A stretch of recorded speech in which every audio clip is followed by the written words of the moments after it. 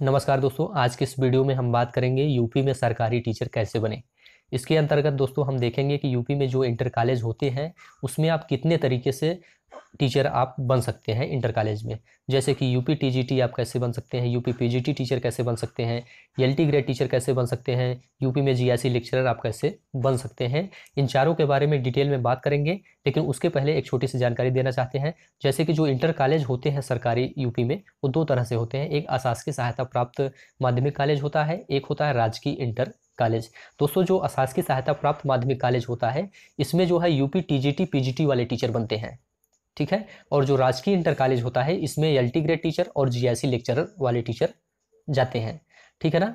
जो राजकीय inter college होता है, ये पूर्ण रूप से राज्य सरकार के अधीन होता है और जो अशासकीय सहायता प्राप्त माध्यमिक कॉलेज होता है, इसका मुखिया प्रबंधक होता है।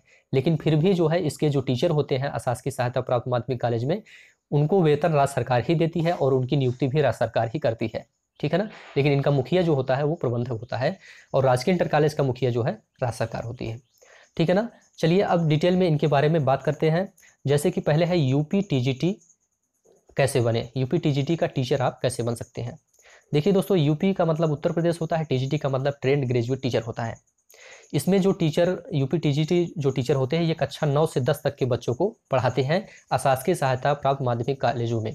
ठीक है? इसके लिए योग्यता जो निर्धारित की गई है, वो है ग्रेजुएशन प्लस बीएड अगर आपका ग्रेजुएशन कंप्लीट है और आपने साथ में बीएड किया हुआ है तो अब आप आसानी से यूपी टीजीटी टीचर बन सकते हैं। इसके लिए आपको जो है रिटर्न एग्ज़ाम देना होता है। एक ही एग्ज़ाम होता है, बहुविकल्पी होता है, उसको एग्ज़ाम आप अच्छे नंबर से पास कर लीजिए, फिर आपका इसमें सिलेक्शन हो जाता है। इसमें कोई भी इंटरव्यू नहीं होता है।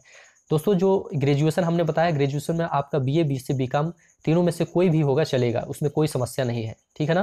तो ग्रेजुएशन और बी के लिए अगर आप किए हैं तो इसके लिए आप योग्य हैं, ठीक है ना? और अगर बात कर ले उम्र की तो न्यूनतम 21 वर्ष है, अधिकतम कोई लिमिट नहीं है, दोस्तों। अगर आप 60 साल के हैं, तब भी इसमें एग्ज़ाम में बैठ सकते हैं और इसको पास करके टीचर बन सकते हैं। इसमें जो रिटायरमेंट होता है, वो बासठ वर्ष के बाद आदमी रिटायर हो जाता है, ठीक है ना? चलिए, इसका जो एग्ज़ाम है वो माध्यमिक शिक्षा सेवा चयन बोर्ड करवाता है। इसको भी आप जान लीजिए। नेक्स्ट अब बात कर लेते हैं दोस्तों यूपी पीजीटी जिसे हम पोस्ट ग्रेजुएट टीचर के नाम से जानते हैं। इसमें जो टीचर होते हैं, वो कक्षा ग्यारह से बारह तक के बच्चों को पढ़ाते हैं। इसके लिए जो योग्यता निर्धारित की गई है, केवल और केवल पोस्ट ग्रेजुएशन है दोस्तों, जिसे हम परा स्नातक हिंदी में कहते हैं। इसमें, इसके अंतर्गत आप जो है एम सी एम काम तीनों में से कुछ भी किए हैं तो आप इसके योग्य हैं। इसके लिए बी की कोई आवश्यकता नहीं है दोस्तों।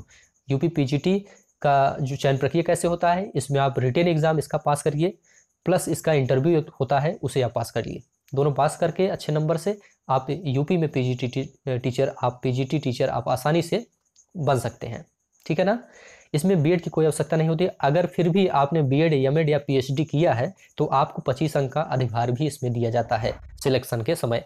लेकिन कंपलसरी नहीं है। आपने बीएड नहीं किया है, तब भी आपका इसमें सिलेक्शन होगा।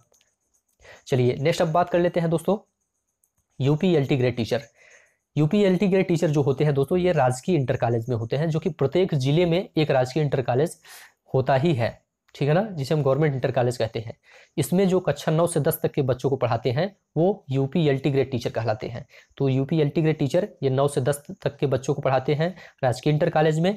इसके लिए जो योग्यता निर्धारित है, वो है ग्रेजुएशन प्लस बी आप अगर ग्रेजुएशन कंप्लीट है, आपका और बी आपने किया है तो इसके लिए आप योग्य हैं। ठीक है ना? ग्रेजुएशन में आपका B A B S C B com कुछ भी हो सकता है, चलेगा। इसके बाद इसका जो सिलेक्शन प्रोसेस होता है, वो होता है, इसमें एक रिटर्न एग्ज़ाम होता है, उसको आप पास कर लीजिए तो आप इसमें सेलेक्ट हो जाते हैं। इसमें कोई भी इंटरव्यू नहीं होता है दोस्तों। उम्र की अगर बात करें तो न्यूनतम 21 वर्ष और अधिकतम 40 वर्ष इसमें निर्धारित है। ठीक है ना? और इसका एग्ज़ाम यूपी पीएससी करवाता है, जिसे हम उत्तर प्रदेश लोक सेवा आयोग कहते हैं। ये चीज़ें इसमें हो गई दोस्तों। अब हम बात कर लेते हैं यूपी जीआईसी लेक्चरर के बारे में। यूपी जीआईसी लेक्चरर जो होते हैं, ये भी राजकीय इंटर कॉलेज में टीचर बनते हैं, ग्यारह से बारह तक के बच्चों को पढ़ाते हैं। ठीक है ना? इसके लिए जो योग्यता है, वो है केवल पोस्ट ग्रेजुएशन परास्नातक जिसे कहते हैं। इसके अंतर्गत आप एम एम एस काम कुछ भी कर सकते हैं, कोई समस्या नहीं है। इसमें भी बी की कोई आवश्यकता नहीं है। और एक बार ये ध्यान रखिएगा, एक बात जो है कि ये कि साक्षात्कार इसमें नहीं होता है दोस्तों।